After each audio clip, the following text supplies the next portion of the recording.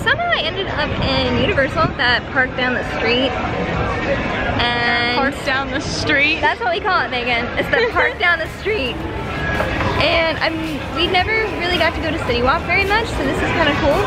And Voodoo Donuts looks amazing. And yeah, we can't go to the parks, but we're here at City Walk, and I like it. And that's Megan. Say hi, Megan. Hi.